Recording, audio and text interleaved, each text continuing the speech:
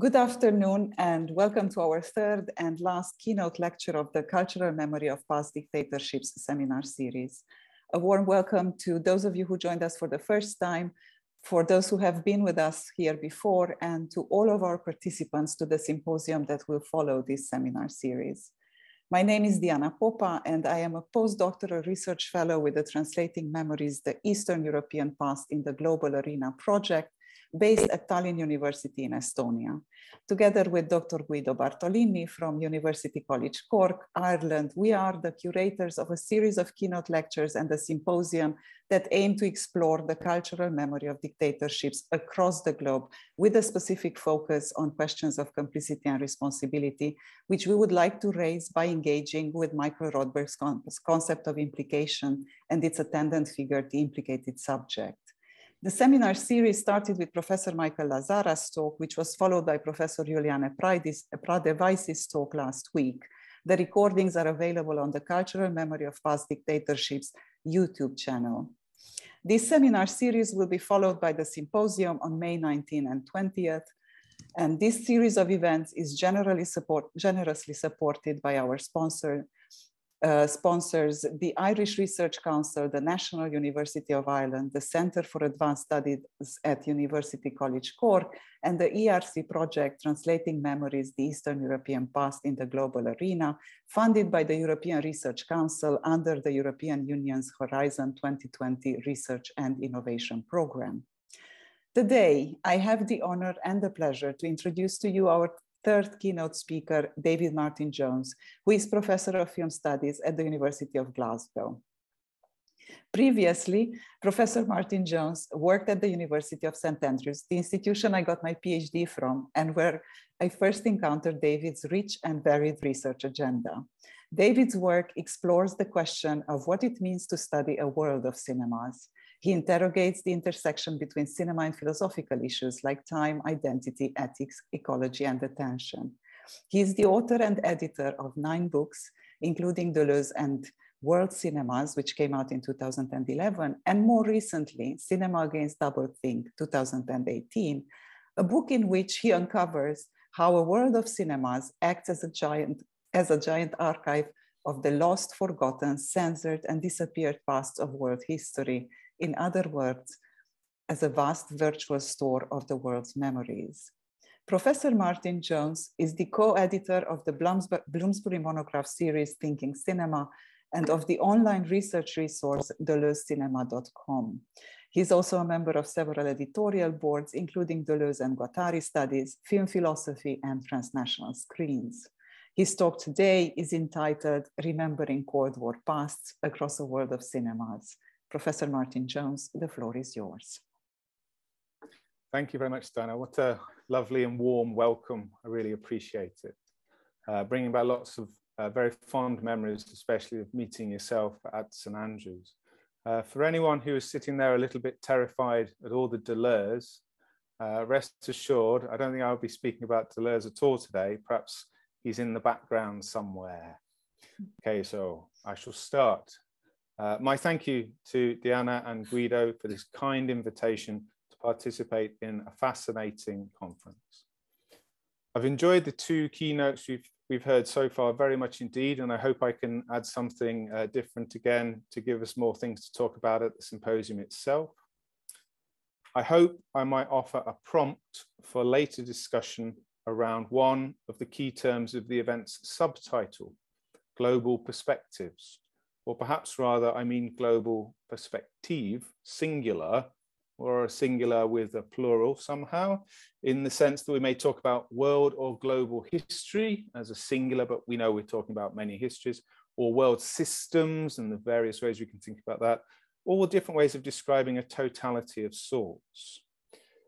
So the, I'm trying to get, here we go. The focused case study that I'm going to look at today will be the Chinese documentary Hu Jie's Though I Am Gone from 2006. This is a film about the legacy of China's Cultural Revolution. And so here I am talking more about the state of exception per se than I am about a Cold War dictatorship in the sense that we might think of, say, Chile or South Korea, just to name two examples and many more. um, the Cultural Revolution being rather unusual even perhaps for the Cold War, but I will be exploring essentially how implicated uh, filmmakers and to an extent the viewers can be in recording the past or rather in retelling the lost pasts of world history. So uh, just to add a little bit of depth to uh, Diana's lovely introduction, I'm going to spend a little bit of time setting up the analysis of this documentary by introducing some broader questions first. This is less about my vanity of ex explaining my intellectual project honestly, um, but I'll try and so I'll try and do it very, very briefly, but it's more about making sense of the conclusions that I draw at the end, which if I just do them with the one documentary won't make a, lot of sense, but if I do them with the bigger arena, hopefully they will. Okay. So a nice colorful slide, pick out your, your favorite film there. I work in an interdisciplinary area called film philosophy, and I use the ideas like Gilles Deleuze from continental philosophy, amongst others, um, but also a Latin American philosopher called Enrique Dussel quite a lot. Uh, Dussel, um, famous for talking about um, colonial modernity, also famously addressed by Mignolo and others. I examine world cinema, a term which I know to be problematic, um, potentially orientalizing like world cinema or world food, and which I've tried to reconfigure with the phrase a world of cinemas. It's a bit unwieldy, but I'm following people like Lúcia Nagib from 2006, I'm trying to think about a sort of a horizontal playing field of of world cinemas without singular origin or, um, or center. What I try and do as part of the transnational turn, I often explore similarities between films from different contexts, especially across Latin America, specifically the Southern Cone in that sense, and also various East and Southeast Asian cinemas. So there's big holes in my coverage of a world of cinemas, in particular in terms of African cinemas, um, but one can only do so much. Um, these aesthetic similarities that I find between these films, though, are, I think, quite telling, uh, especially when they emerge from very different contexts. As part of this research, I've looked at the history of the Cold War as it emerges across various different documentaries from different countries. And this is only one dimension of a broader project which looks to shift our focus from how national cinemas can portray national histories to how different filmmakers may engage with histories bigger or longer than those of the nation. Histories like that of, say, the planet uh, or the Anthropocene, and there are other ways of doing that as well. And this has taken me away from some of the established ideas like those of prosthetic or post-memory, ideas of how the past may be reclaimed, whether attached like a prosthesis or even just reconstructed, to consider instead how film stage encounters for us with pasts which are lost and cannot be reclaimed. This distinction is quite important for today, not pasts which we can attach or recreate, but pasts which are shown to us something we cannot know because they're gone. You will note the title of the documentary today is Though I Am Gone. And the point of these films doing this, I have argued, is to remind us of the relative nature of the history which informs our present and of the myriad alternative pasts which have been lost. And as an aside, if you look at the slide here, you've got three faces facing you from the past. And the importance of the face is quite important here, I think. In these films, the encounter with the lost past is often staged as an encounter with an extinct species or a legend or an exterminated indigeneity, or maybe even the very earth itself, which is somehow making a mouthpiece to speak to us. So in a sense, what I'm talking about here is a Levinasian or maybe really a, a Dusselian ethics involved in the way we encounter uh, the lost pasts of the world, something which can shake us out of our complacency, both in terms of our relationship with others as a Levinasian ethics would, but also historically with regard to the structural inequality of colonial modernity, which is what a Dusselian ethics can give, which a Levinasian ethics does not. And so that's if you're into that kind of thing. That's a very brief sense of what's sitting behind the paper I'm going to give today. I've called this Cinema Against Doublethink, referencing the Orwellian idea of how history is written as a singular linearity, the official story of history, if you like, even against our, our experience of it being more multiple than that. And nowadays, when we talk about fake news, we're in this very similar territory. So this is, I think, the area in which I can offer something of interest to this symposium. I found that when cinemas of the world address how we remember the recent Cold War past, a challenging question emerges. do these films suggest that the emergence of the state of exception in many contexts from the 60s and the 70s onwards was a situation specific to the Cold War? Or do they in fact indicate something more pertinent to our era of neoliberalism's increasingly ambivalent relationship with democracy? This is not a question that I have an answer to. Even so, I do not offer this as a kind of empty provocation, so much as I think of it as well, honestly, as a sort of terrifying but possibly very real thought. And we heard last week from Juliane, very enjoyable paper on neoliberalism and authoritarianism. And I think we find ourselves in a similar terrain today. This is something which exploring a world of cinemas can help us reflect upon, even if it cannot help us to solve it, as it were. Popular culture, of course, is way ahead of us in visualizing such an idea, as indicated on the slide. But just briefly, what would prompt such dark questioning? I have three reasons. Firstly, I take quite seriously anthropologist Heonik Kwon's contention that in some parts of the world, the Cold War is still decomposing. This seems evident in certain films from different parts of the world. On the one hand, if we look at, say, Latin American cinemas, we find attempts to engage with the Cold War past as something that is historically past, even if the ripples continue. So here's just one example, some apparent films from Argentina. I suspect people will have seen one of these at least. Azor is quite recent and uh, fascinating, but also quite horrifying. On the other hand, though, other films seem much more in line with Kwon's contention that in some places the Cold War is only decomposing. For example, we're talking about complicity and implication and so on. In Joshua Oppenheimer's films, and let's remember they are by Oppenheimer and often other directors, uh, Christine Cynn is one of the directors uh, acknowledged, but also anonymous, whose name has been kept anonymous for their safety. So I'm going to say Oppenheimer, but let's remember that these are often co often co-directed works. In The Look of Silence from 2014 and The Act of Killing from 2012, we palpably feel the fact that the Cold War lingers on in Indonesia. I expect a lot of people have seen one of these films at least, but if not, The Act of Killing is a startling documentary in which former death squad members make movies about their multiple murders in the past. It's received significant academic coverage, and I'll not go over that again today, but we could perhaps consider such films in terms of Michael Rothberg's implicated subjects to some extent. But in truth, these films tend to draw a rather clear distinction between perpetrators and, well, Rothberg says victims. I'm, I'm not clear myself if we should be saying victims or survivors. I appreciate sometimes victims aren't survivors. Um, but let's go with perpetrators and victims, but somehow in my head, I'm wondering about survivors. These films interrogate the present day reality in which the perpetrators of human rights abuses in the past remain in power the children of their victims still live in fear. And what is at stake in their interaction is how the, the story of history is told. So here is my point again about cinema against double think. The act of killing illustrates what Charles W. Mills would describe in The Racial Contract as how the global history is rewritten in an Orwellian manner.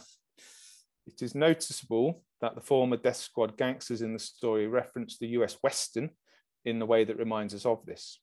They question whether what they did and their desire to make movies about it is any different from what the USA did to its indigenous peoples as celebrated in Westerns. So, in these films, an ongoing Cold War in which the truth of history is at stake. Second reason, which underpins the question of whether the state of emergency is a growing trend, relates to the idea of the third wave. I join many, I think, in disagreeing with Samuel Huntington's idea of the third wave, which he proposed in 1991, arguing that the world was moving gradually towards democracy as the Cold War closed.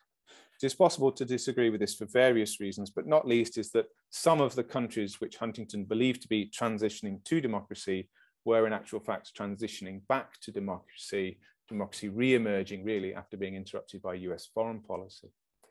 So as we are experiencing in the present moment in many countries, including certainly in the UK, I think also in the USA, we might say democratic rights seem to be democratic rights seem to be under attack uh, in, in certain subtle or not so subtle ways. And then the third reason, I'm influenced by the ideas of scholars critiquing neoliberalism who indicate its closeness to the state of exception. Most apparent here is um, Giorgio Agamben, I would say that's the pre-pandemic Agamben at least, who argues that the emergence of the state of exception at various times in the 20th century is evidence of an ongoing global civil war. We can add Achilles Mbembe, who observes in necropolitics the planetary renewal of colonial relations and the global scale creation of a state of exception.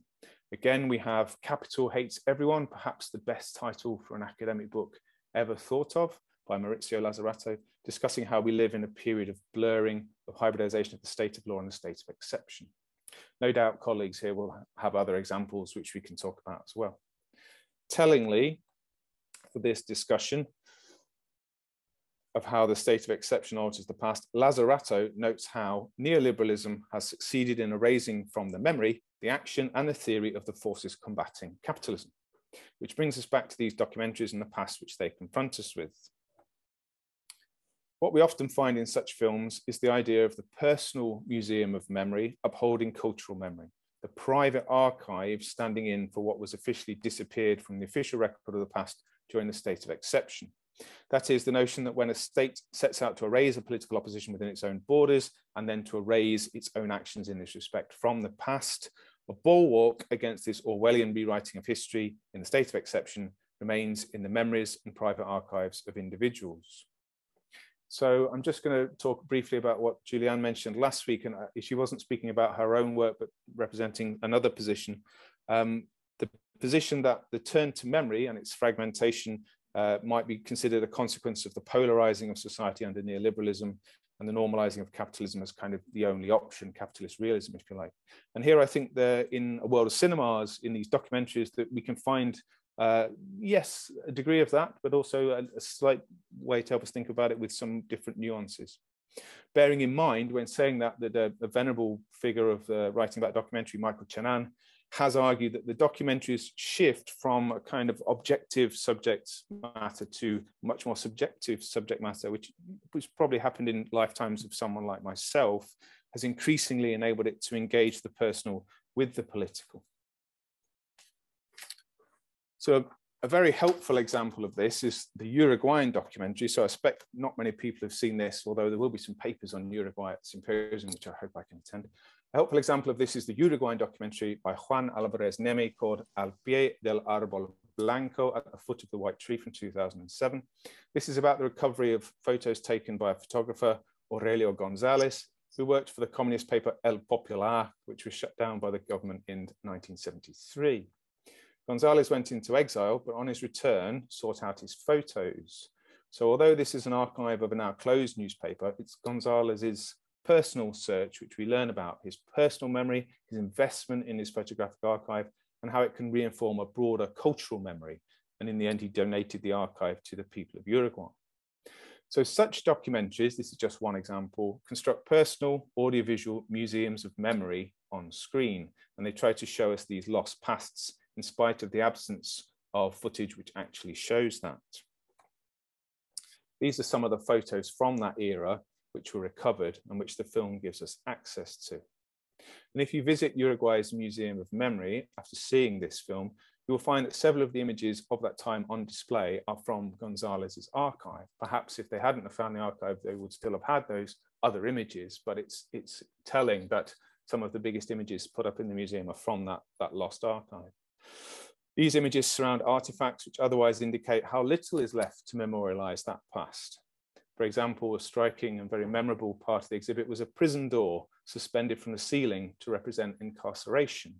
Its very abstractness indicates the lost nature of its former context, and perhaps more terrifying, the disappearance of the captives it once held. So personal memories and private archives then to counter the eradication of alternative pasts in the state of exception, the personal still having the power to inform the, the public. Of course, not all films do this in the same way. Michael uh, already gave us excellent examples from Chile, which do things differently, and I'm sure there are others again. In terms of Rothberg on implication, in fact, we might also think of slightly different documentaries. This is uh, uh, Rithy Panh's S21, The Khmer Rouge Killing Machine from 2003, which is again a very challenging film to watch, in which all of those who survived these Cambodian death camps can negotiate their implication in the atrocities they witnessed or committed. But in general, the tensions being explored seem to be between the ability of the state of exception to eradicate the past and the ability of the individual to uphold the memory of a different past, typically one in which some individuals felt that they belonged more to collectives. So that's the trend as I see it from my viewing, and some exceptions to show that there is a trend, I suppose. And then to focus for today, part of this trend and standing out from it, and that is crucial for implication. It is similar, but it does stand out from some like at the foot of the white tree because of the nuances and the complexities which are quite different and the way we move from yeah perpetrators and victims or survivors and to um, oh how do we understand the, the sides as it were in this version of history Hu Jie's Though I Am Gone stands out because it adds a greater degree of complexity in terms of implication. Though I Am Gone documents one man's preservation of a private archive of materials evidencing his wife's death during China's Cultural Revolution. Wang, Ying, Wang Jingyao maintains his archive in the face of the way official state history has been constructed and preserved during and after the state of exception of the Cultural Revolution. So a very brief caveat just to get it out the way and save us the questions. Um, the extent to which we can call the, the Cultural Revolution a state of exception is complex. Uh, if we dig into it, counter arguments emerge. You could say it's not a state of exception actually because it was one of many such purges that went on, you know, quasi continuously. You could say it's not a state of exception actually because it, it's consistent with the policy of preparedness for invasion, whether from the Soviets from the north or the USA coming up through Vietnam. Therefore, we move all the industry to the center of the country and put everyone on a war footing by, you know, um, mobilizing the Red Guard and so on. So yes, you, you could you can say it's not a state of exception, but on balance, it seems fair due to the suspension of the rule of law at the time. Also, you can dig into other things like the carnival-like nature of what went on and that kind of thing. But we'll go with it for now. It's a state of exception for the sake of argument. Okay, this is a, a, harrowing documentary, and I've chosen this time that I'm presenting on it not to show a clip for that reason. In the past, I've done it, and it's, it's been quite difficult to talk about it. But we can still talk about it without clip. I think it confronts us. It confronts us with a double dilemma. Firstly, it challenges us to consider the degree of clarity we can gain from such works of cultural memory preservation. And this is again about that global perspective and can we ever get one? How much of a local political big picture are we able to discern and thus how much can we grasp of possible implication or complicity? Secondly, what do the nuanced complexities of a world of cinema indicate about how much of the big picture of world history we are able to comprehend? Are we able to understand a global perspective? I will, I will primarily look at the first of these in relation to Though I Am Gone, and I'll briefly touch on the second at the end because you kind of inevitably end up at the second question.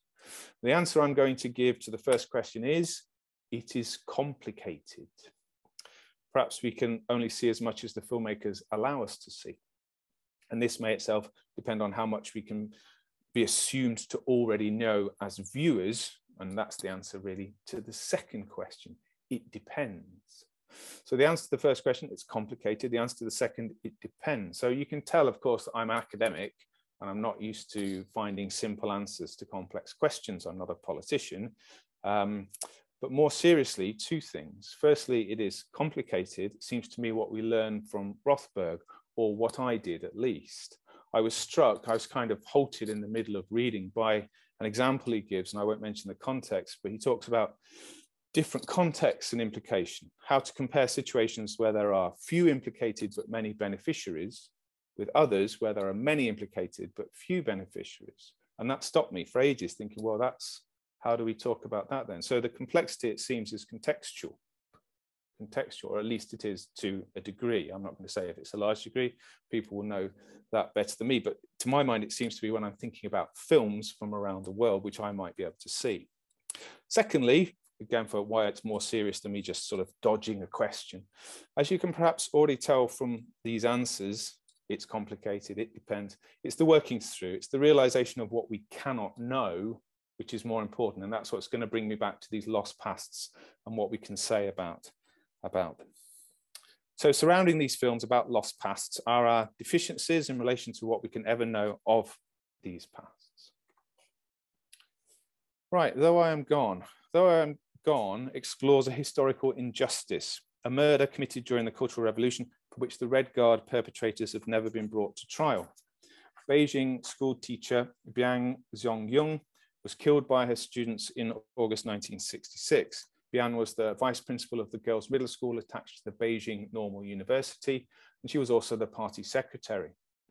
The school's students included many children of very influential party members. The death of Bian is well known in China and a topic of public debate in the ensuing decades. Jie's documentary is banned in China, although it's been widely viewed on the internet, sometimes goes under other names on YouTube and places like that, uh, Although I Am Gone or Though I Was Dead.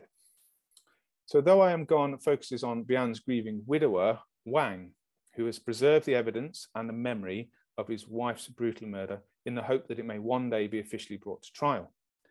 Failing that, he notes, it might inform an official museum of memory to victims of the Cultural Revolution. Wang preserved events using a camera that he bought the day after Bian's death, and he states that he did this because he was, quote, determined to record the truth of history, or at least that's the quote of the translation in the subtitles, determined to record the truth of history. So please just hang on to that fact that Wang bought a camera the day after the death of his wife determined to record the truth of history. The documentary incorporates many of Wang's photographs from the aftermath of his wife's murder. Accordingly, the academic uh, consensus is that the film constructs something of a personal archive, so very much in line with what I was saying before about the, the broader trend for uh, documentaries about the Cold War. So there's several examples. I'll just pick out the keywords. Alternative archive, virtual museum of forbidden memory, um, political gesture of resistance against deliberate amnesia. So what's interesting I find here is that we find films from, we, we could use those terms to talk about Latin American documentaries, several of them. So it's quite interesting to me to see these connections. Indeed, the film works up to its standout moment in which Wang opens up his personal archive of material objects relating to Bian and her death in particular, which he's not touched for decades. And as I say, it's very harrowing, so I've chosen not to show it today. Um, but the archive includes the bloodstained clothes Bian was wearing when she was beaten to death. It also includes Wang's photographs, documents, the testimony of other witnesses and survivors, and other artifacts preserved for nearly four decades, such as these two watches. And I'll come back to these two watches in a minute. Together, these objects resemble exhibits at a trial, really, or yeah, something like that, or maybe a museum exhibition, it's true. They also indicate materially that Wang's personal memory exists in the folds within official history as they're literally packed away in his home. So we might be tempted then, especially on first viewing, to see Though I Am Gone as a straightforward story of justice denied. And that was my understanding of it when I first watched it. However, whilst it focuses on individual memory and a personal archive as a bulwark against Orwellian state denial, and whilst it seems to establish a perpetrator and survivor or victim, uh, perpetrator and victim binary, in fact, it contains much within it which asks us to consider implication and its complexities. Wang and his wife had been, so we start to get their backstory, and that's what's interesting. Wang and his wife had been, the documentary reveals, local party members through the Sino Japanese War and the Civil War before they attained the roles they had when the Cultural Revolution erupted. Wang's familial history, the majority of the photographs are of a family unit, demonstrate that his grievance may be as much about Bian's murder as it is about the injustice of the betrayal of the history of the party and the national history constructed by it, which they had previously worked for, Wang and Bian, as revolutionaries. So put simply, if you watch attentively, if you watch attentively, or if you watch repeatedly, I suppose, which is when I started to realize it, the, the binary becomes more complex than perpetrator survivor or victim. But what it means in terms of implication is also complex. Let's have a look at those watches again.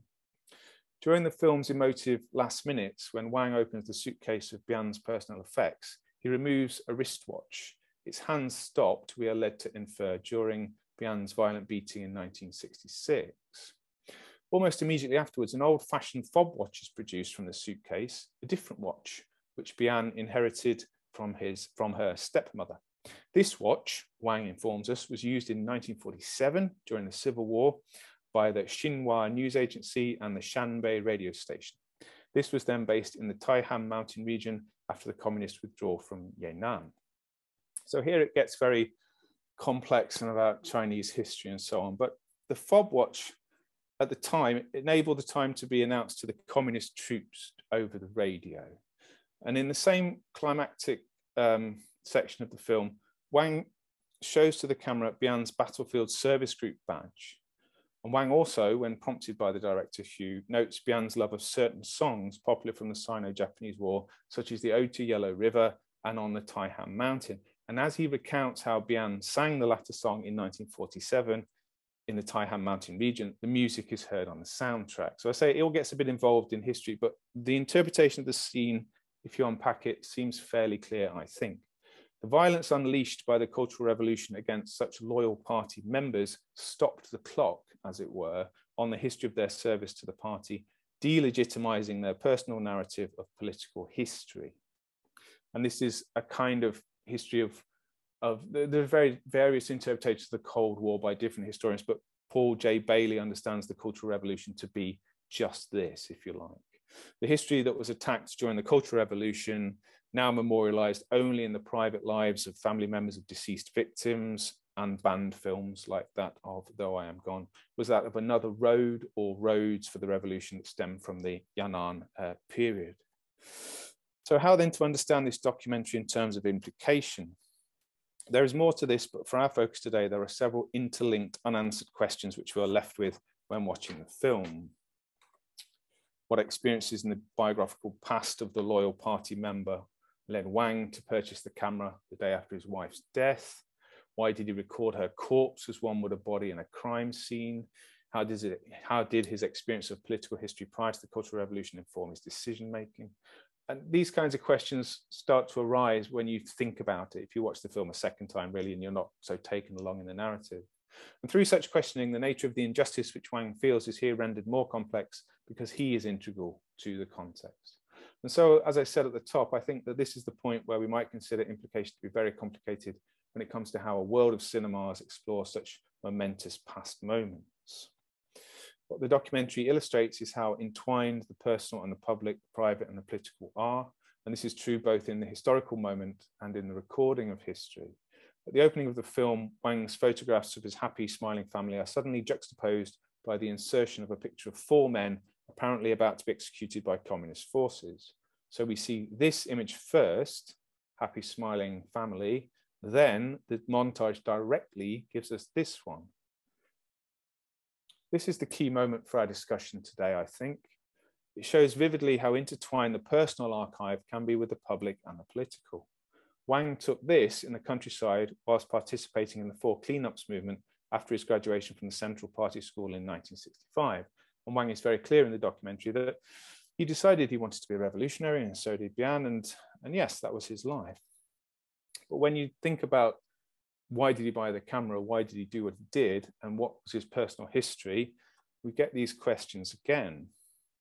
So, does Wang's involvement in such cleanups explain why he bought the camera? It might do. Was he involved in similar beatings or even executions to that which happened to his wife? I don't know. It's hard to tell from the film itself. The film doesn't tell you. This is why, as I say, understanding implication in the world of cinemas is very complicated.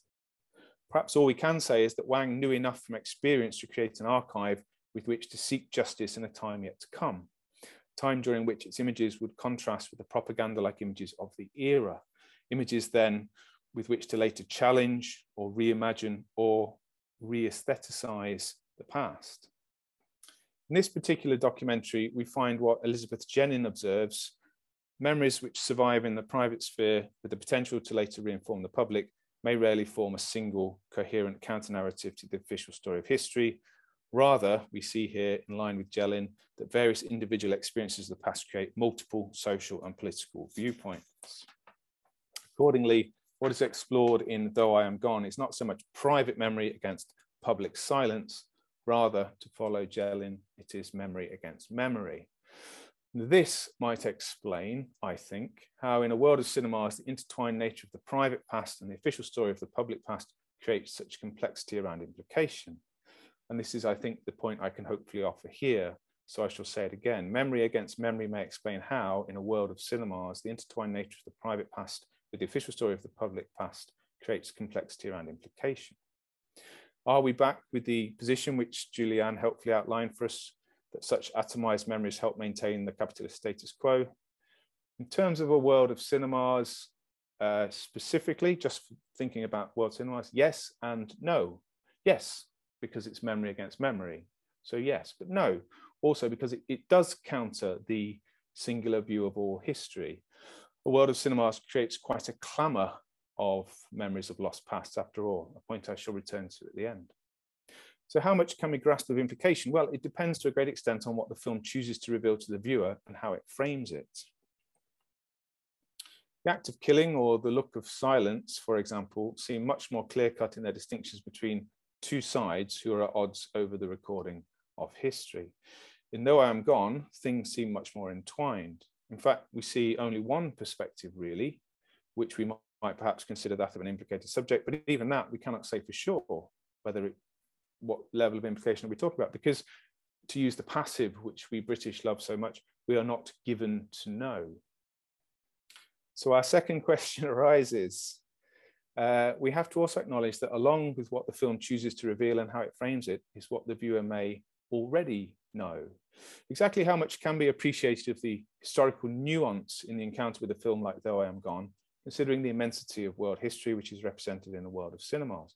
For those more familiar with the historical incident, including audiences in, in China, if they're able to view the film, that is, much in Though I Am Gone may seem, may not seem to need to be stated explicitly, even if for a viewer like myself, it might need to be.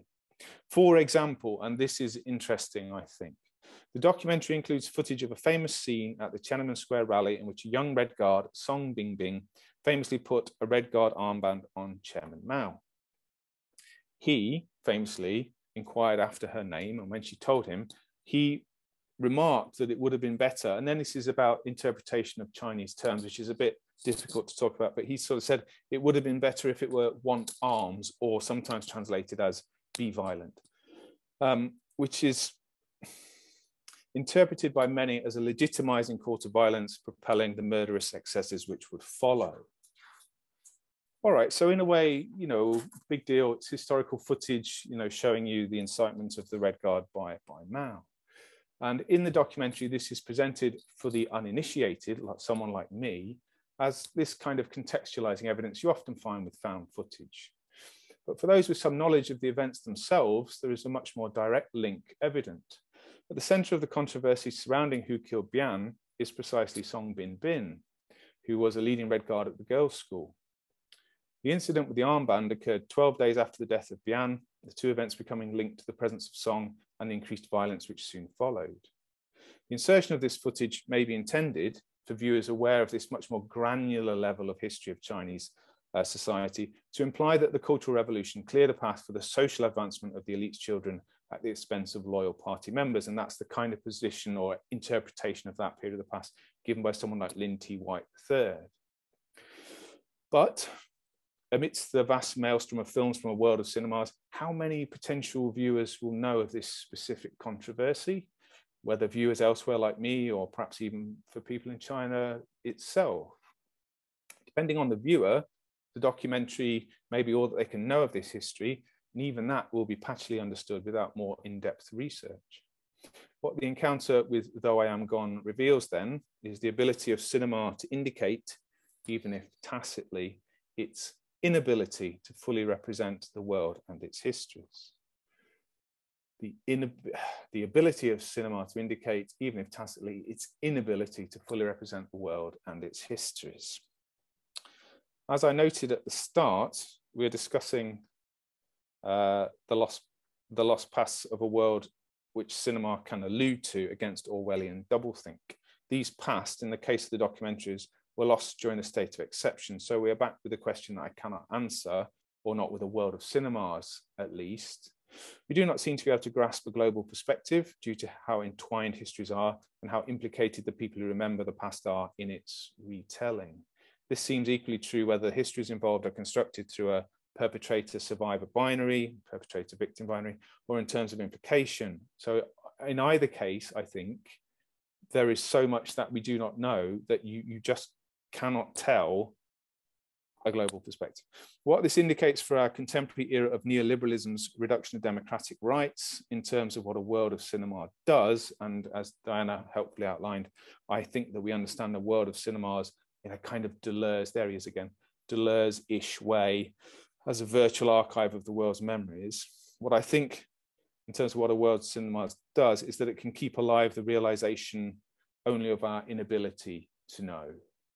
Not in the sense of a failing or a stultifying cognitive dissonance of the kind that Bruno Latour identifies in the right wing climate change denial, not that kind of I don't know, I'm confused, but more in the sense of a reminder which creates a kind of hesitation.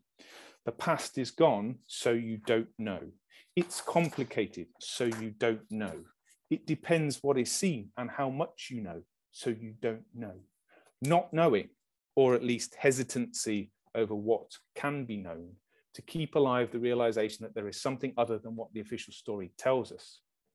Hesitancy, which may help us to relearn the past, and for those into this kind of thing, that would be like a Deleuzean time image, or as people like uh, Al-Saji have argued, uh, how using a Bergsonian idea of time, you can think about relearning ingrained patterns, perhaps even relearning ideas, um, which might have um, an impact on your ability to understand race in a different way, or something like that. So hesitancy to help us think differently about the past relearn perhaps even ourselves and think about the future in a different way. That is, at any rate, to finish, as much hope as I am able to muster in the current context.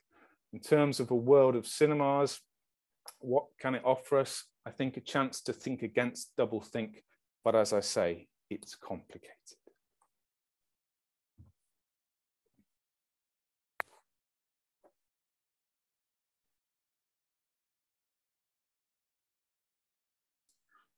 Uh, thank you. Thank you very much, David. I was just for a moment lost here in the in the in the format of the Zoom screen.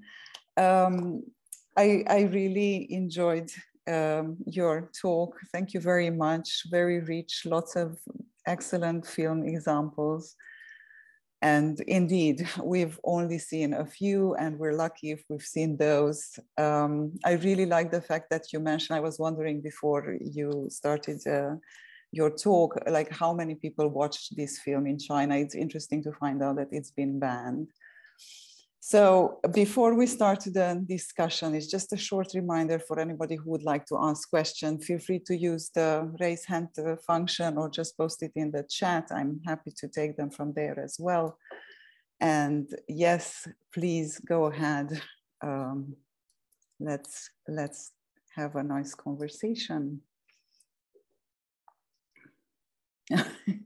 Juliane, would you like to start, please? I think Guido was first.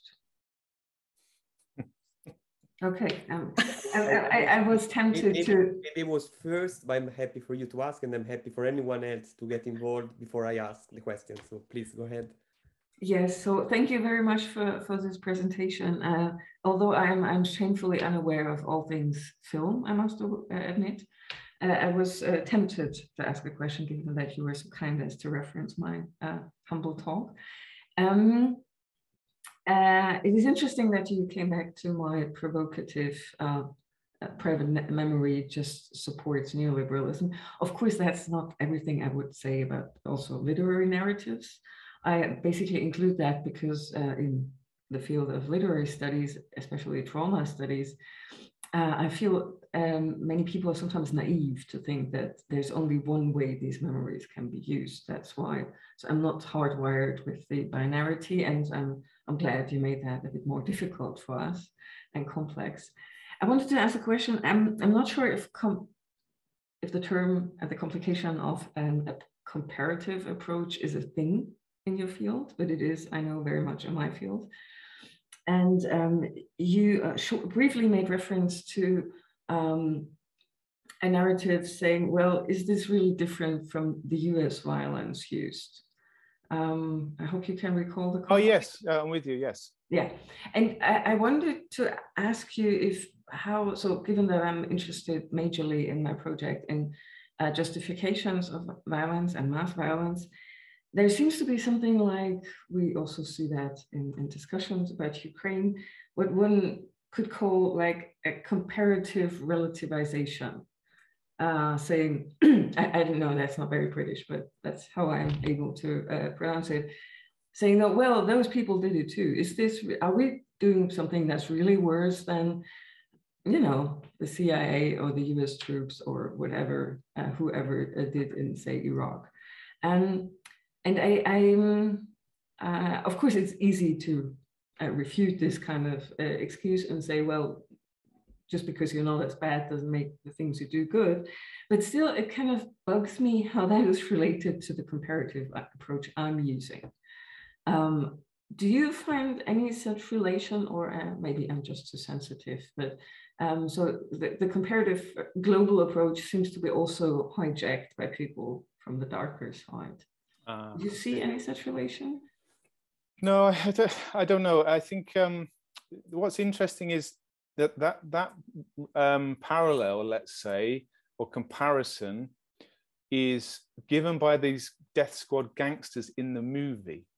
Mm-hmm. So so they want to try and excuse themselves and excuse the film. The film is, I'm sure a lot of people have seen this as kind of an art hit, art house hit, and circulated around the the independent cinema chains it's it's a surreal film to watch because it's people making genre movie snippets about their previous acts of mass murder. So it's horrid, and you're there aghast. Well, most people, I think, you know, are aghast, and that's the idea you're supposed to be.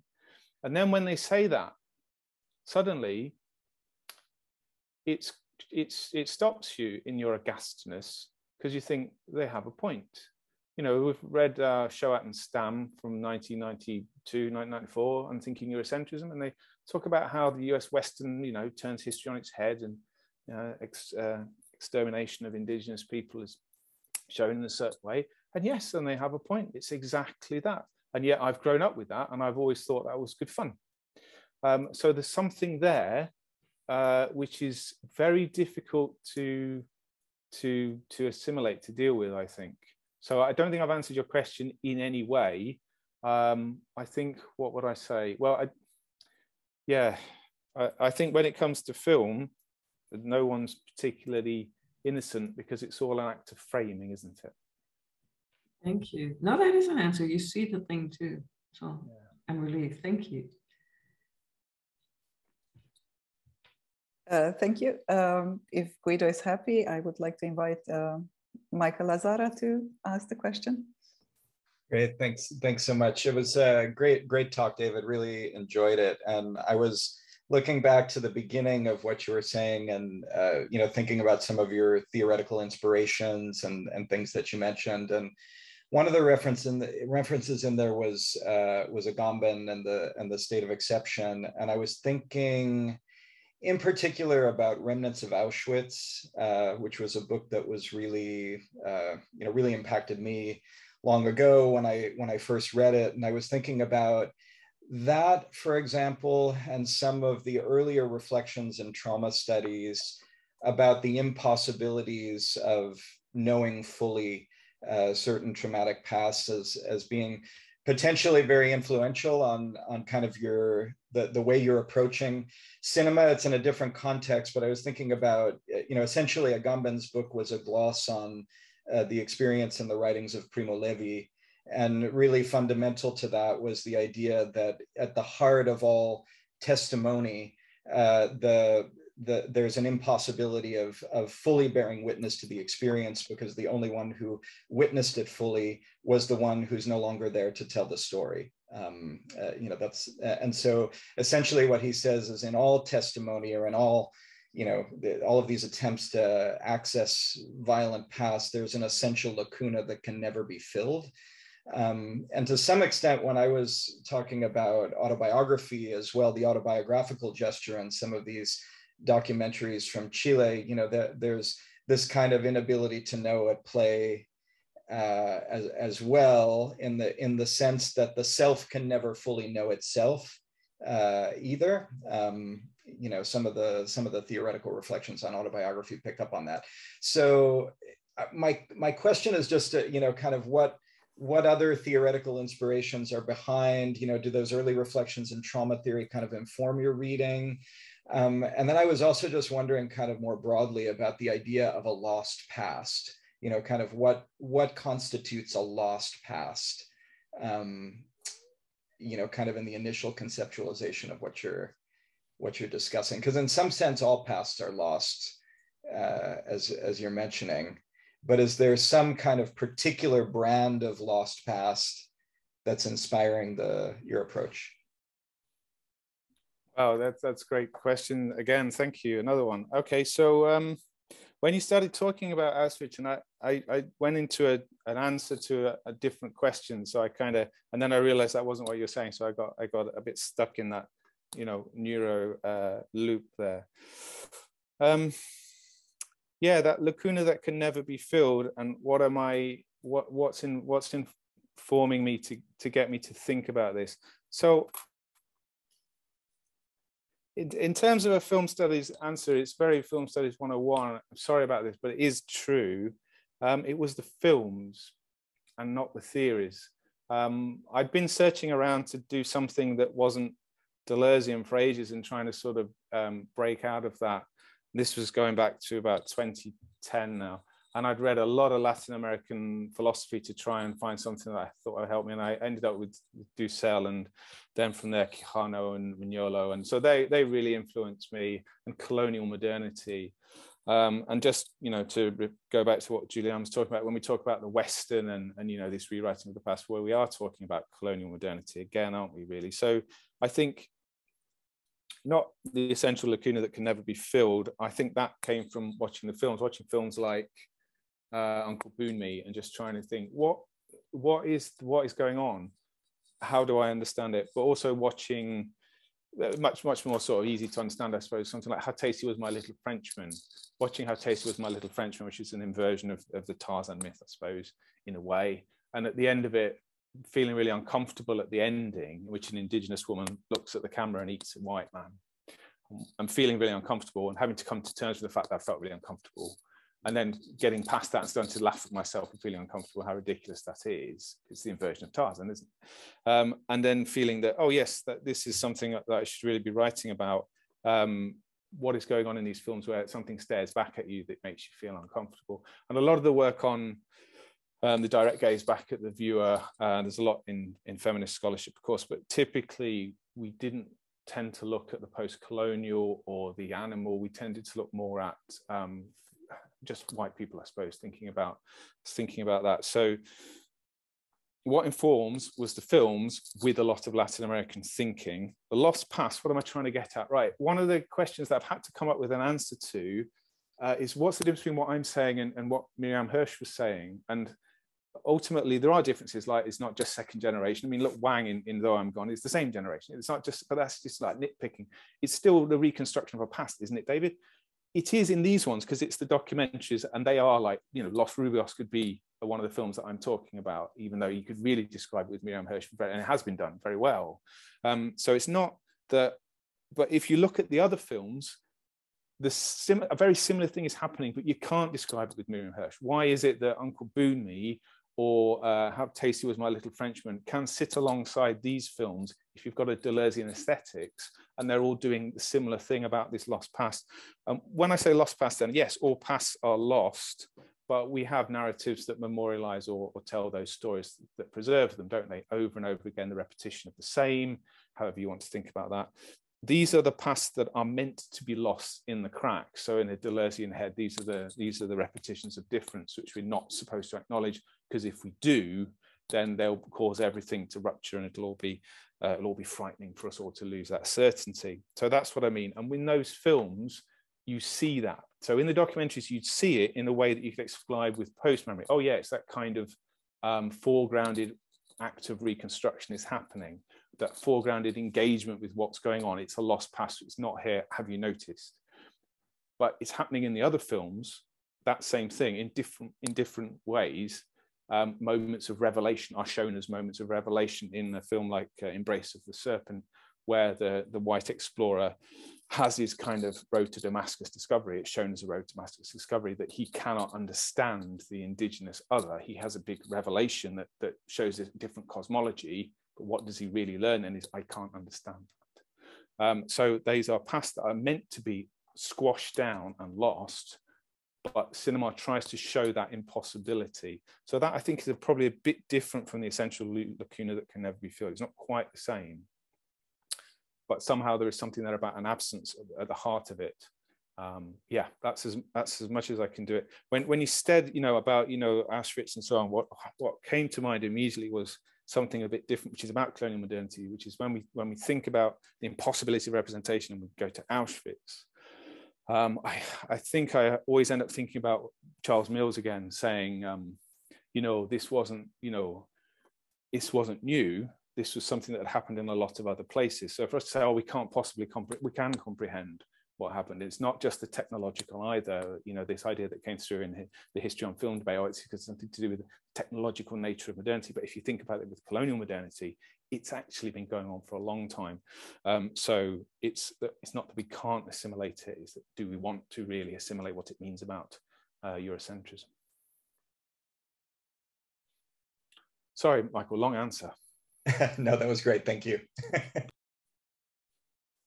Okay, thank you very much. Um, I think Guido, if you have a short question, I'm mindful of the time, so you know it's like a, a short yes, question too. Okay. I will I will phrase it in the most short way I am able to, to do. So basically, I would just would like to know your opinion a bit about the relationship between explicit language and implicit language. In the sense that this is something I've been working on as well, and. Uh, mm, like for example, if I think about my expertise on Italian literature, the ideas of uh, implication, the focus on the perpetrators, they were all stuff that were implicit in many works of art, in, in my case, uh, novels and literary texts. And then I, through the years, they became more explicit. So if by studying this trajectory, I kind of see this as a kind of positive and welcome development. But now, you know, while listening to you, I I kind of see as a kind of uh, uh, defense, you know, of uh, the implicit uh, communication, you know, and, and the form of implicit implicit knowledge that art and cinema can uh, can develop, and so the way in which then push us to to think about it. So if I if you could briefly develop oh. on, on this relationship. How long have I got, Diana? 30 seconds. Up, up to you. Easy, no problem. Uh, no, um, I think that with with all uh, respect to context of China, uh, it's it's a different um, it's a different political system, and what you are able to say is is going to lead to very different forms of, of expression. So, yeah, I, I think in terms of if if you're talking about that from countries leaving dictatorships and transitioning to democracy, maybe I expect you probably see a gradual opening up, don't you? Especially as generations die and then you get truth commissions or you don't depends on the country and and then probably yeah you get a more explicit address i suppose what concerns me more is whether we're in a that's quite a nice darwinian trajectory isn't it? Things will evolve. Uh, whether we're in that or whether we're in cycles. Pepe mujica you know he went through all that and then he became the president of uruguay for a very long time. But now the the system is is shifting again. And what is going to happen in Latin America next? I, you know, we don't know. So it might be a bit of that old uh, Meillassoux hyper chaos, and what you think is is normal. You think there are laws, you think there are the rules of physics, and then suddenly everything around you turns into, um, as a PhD student of mine said, vegetarian haggis.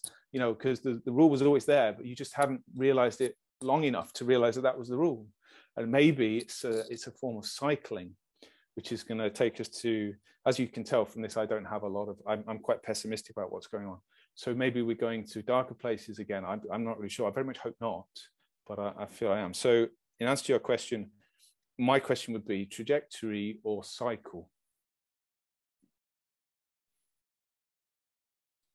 Thank you. Thank you very much. And um, um, we are on time. So unless anybody has some urgent question, and then I'm happy to end our keynote here by thanking very much David again. Round of applause, thank you. And uh, for thanking everyone for being here and for joining us today, for sharing your questions with us. And we're looking forward to having you back uh, for the symposium on May 19 and 20th. Thank you very much. Thank Bye -bye. you very much, guys. Thank you.